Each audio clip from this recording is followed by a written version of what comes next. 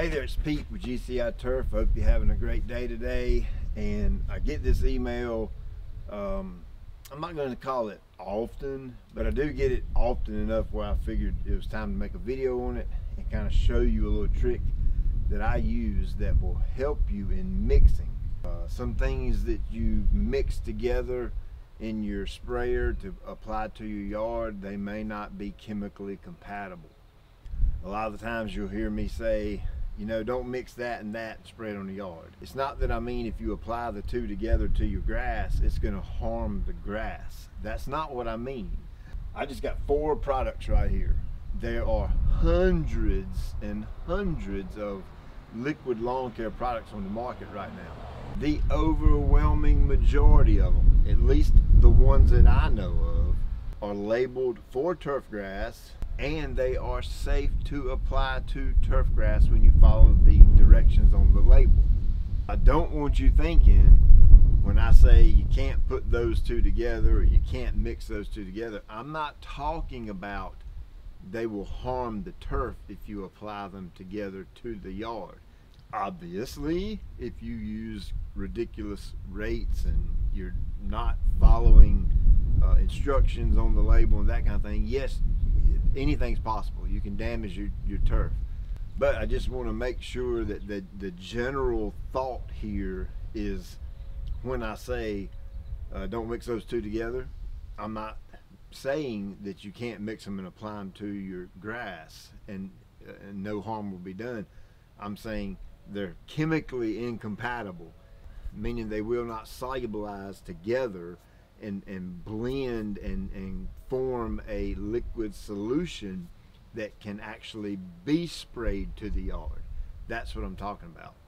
So this is an absolute perfect time for me to make this video because I just put down my protein 12024 on my fescue. You know, that's kind of my main fertilizer feeding for the summer. And I just went out with a half a pound of nitrogen, full pound of potassium. The rest of the summer on my fescue, I'll basically just kind of do some touch-up feeding, spoon feeding type applications and that kind of thing. One thing I like to go down with that pound of potassium is some calcium. I'm gonna mix in a little bit of Sea K with that, stress reducer, and that's the reason for those three different elements all kind of going down at the same time because I'm going into summer.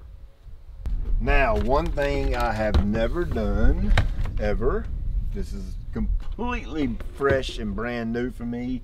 And that's actually another reason I wanted to do the video on it. I wanted you to see the actual, I hate to call it live because this isn't live, but first time results. And, and we'll see what's going to happen here.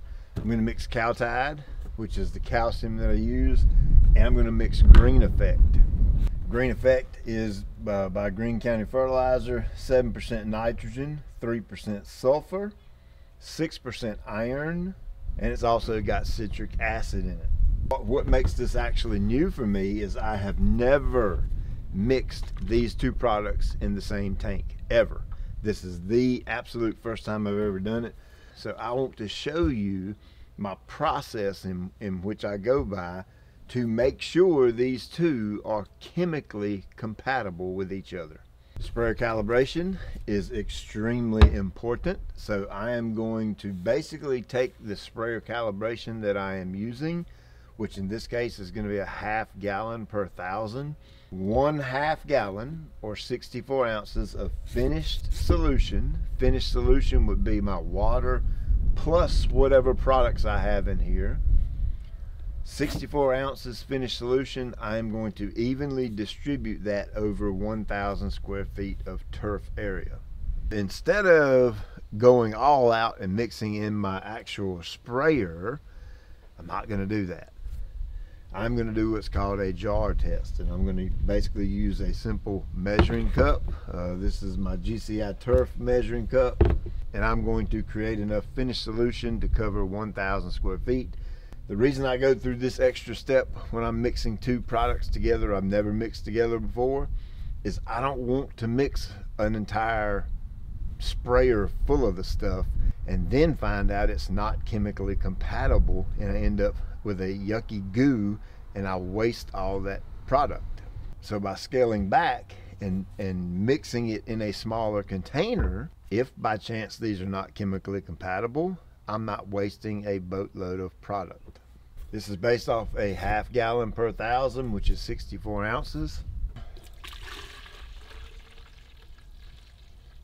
So I'm gonna put about half of that water, about 32 ounces of water. The rate I run on the Cal-Tide is eight ounces per thousand.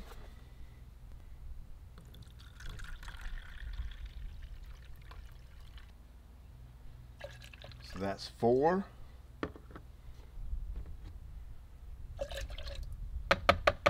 That's eight. The rate I run on the green effect is also eight ounces per thousand. And really the only reason I'm adding green effect this time, is, like I said, it's all brand new to me, first time I've ever done it. I'm just looking for a little extra boost in color to darken the yard up. It's already dark as all get out, but I want to see if I can make it darker green. So that's really the only reason I'm doing this. So here's the first four ounces. So far so good and there's the second four ounces you've seen me use this a hundred times it's my little uh, mixer I, I'm just going to take it without the drill and kind of give this a little stir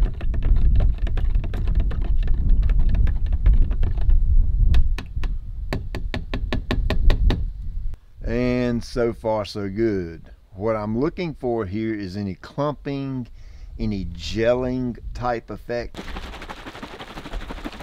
and here's the Sea K. I'm gonna add it in half ounce per thousand.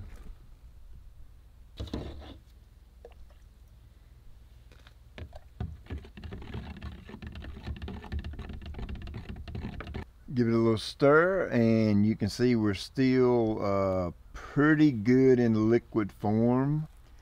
There's a slight bit of solids in there and I'm thinking that's probably from the Sea K but it's not enough where it's going to affect my application or affect my sprayer from working properly. And I am running this as a foliar application. So I am going to use the natural adjuvant, the O2YS on this. And you know when you use that, you need to check the pH, make sure the pH of the finished solution is at a 5 or slightly below.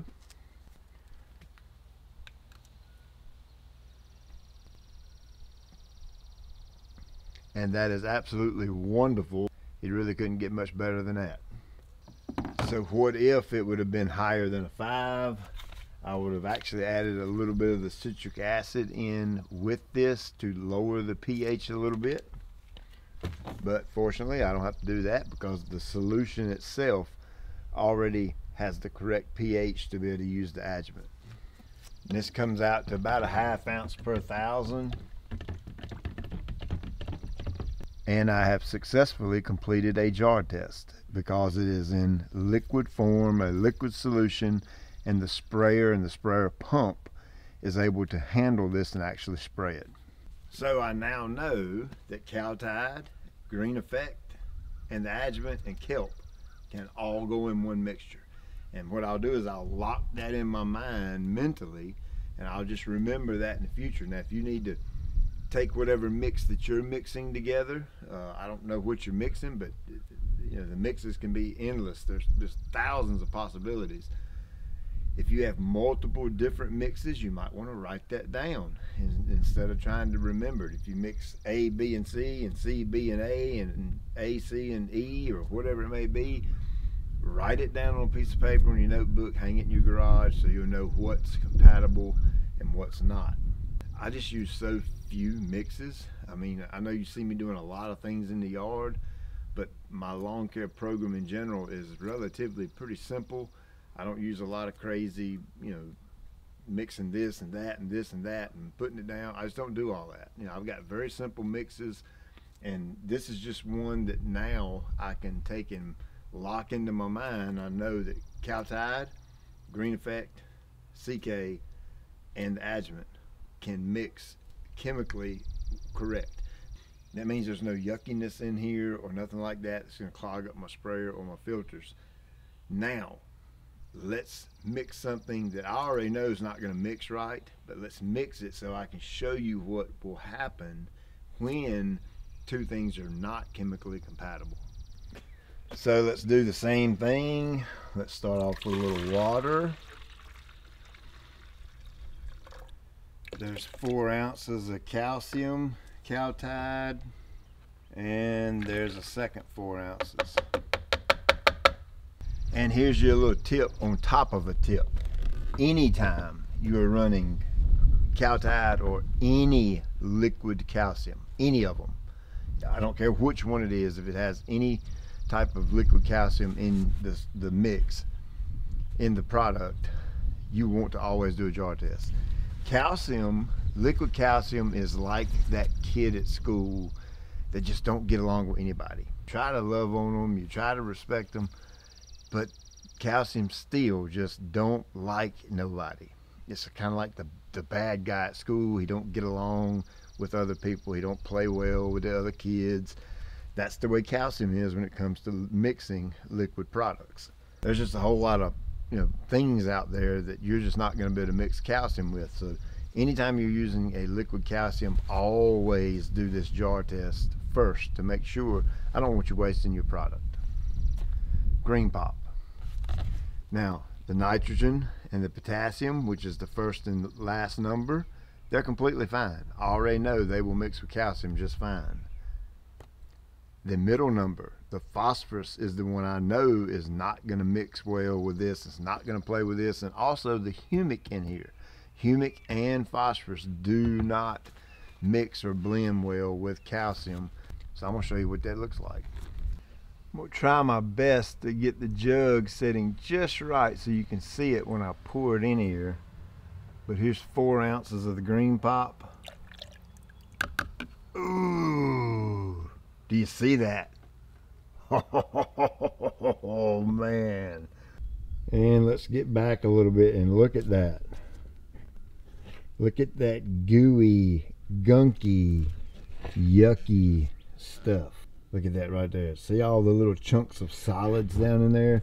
You can really see it good right here on the sides it's totally completely changed the color it's kind of like a white milky look to it now and look at all the solids down in the bottom you can see we didn't even put the other four ounces in there it was just four ounces of the green pop to eight ounces of Cal-Tide. now you could do the any ratio any ratio one to one you could do one to ten one to whatever calcium and phosphorus do not mix in a liquid solution. I don't know if someone makes a product that those two are in the same jug. I've never seen it personally. They are simply not compatible. So keep that in mind when it comes time for you to do your aerating and overseeding. And those of you that are going to use green pop, don't mix calcium with the green pop. Just don't do it. If you're new to the spray game and you're unsure, you're a little bit worried or concerned, you're scared, you don't want to take a chance on wasting your money by mixing two products, do this procedure right here. It absolutely works. The, the, the trick to it is you have to do it at the same ratio at which your sprayer is calibrated at. If you don't know how to calibrate a sprayer, go back through my channel. I've got over 800 videos on here and a whole bunch of them have to do with sprayer calibration. You know, I'm a calibration sprayer nut. I absolutely love that stuff. It's not hard to find a video on my channel about sprayer calibration. So I hope this video has helped you. Uh, I'll link up all these products in the description below and I'll link up a whole bunch of different options for DIY sprayers. So now you know how to do a jar test. Now you know how to check the, the different products that you use and you know the same thing goes for herbicides and chemicals and pre-emergence and all that. Unless you've just used the certain mixes over and over and over and you already know they're going to work uh, anytime you use something new you pick up a new product from wherever and you want to add that to your spray game always do a jar test with what you're going to mix it with. It will save you some headache it'll save you time and it'll save you money in the long run as always, I appreciate you taking time out of your day to watch. I'll check you later.